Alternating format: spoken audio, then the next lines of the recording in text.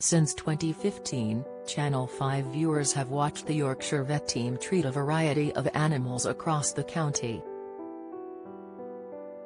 In the latest episode, fans of the show were left outraged after learning about how dog Oscar had sustained his injuries.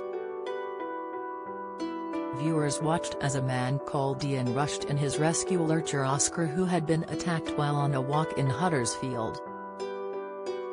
As the dog limped into the practice, that Charlotte commented on how big the open wound was that Oscar had on the side of his abdomen. Seeing the injuries went all the way down Oscar's back, fellow vet David said it looked as though another dog had grabbed and dragged him around. Ian recalled how Oscar was attacked as he called the ordeal horrendous and was still in shock over what had happened.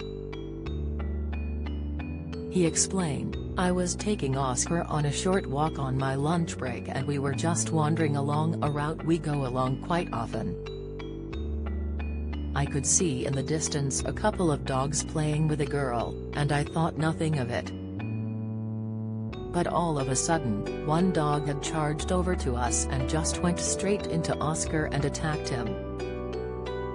As Ian waited for Oscar to get his surgery, he told viewers more about the attack as he detailed the scene he added, it was chaos, absolutely horrendous and the other dog was running around barking. Luckily the girl managed to drag the brown dog off Oscar but he was howling and screaming, it was terrible. Although the vet initially told Ian the injuries didn't seem that bad, once the surgery started, concern started to set in. With Oscar under strong pain relief, one of the vet's colleagues highlighted that on some of the more severe wounds, his skin was attached to his muscle. Dot starting to perform surgery on the dog, the vet confessed the process wasn't simple as they admitted it was trickier than I originally thought.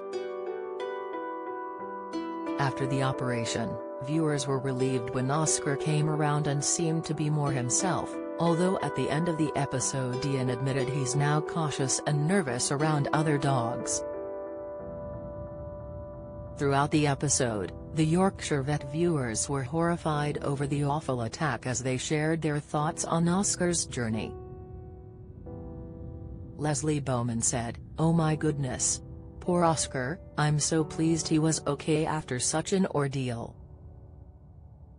Hashtag they Yorkshire vet lovely to see the dog that was attacked back to enjoying life but the dog that attacked really needs addressing. They're a danger. At the Yorkshire vet, commented Selexiak.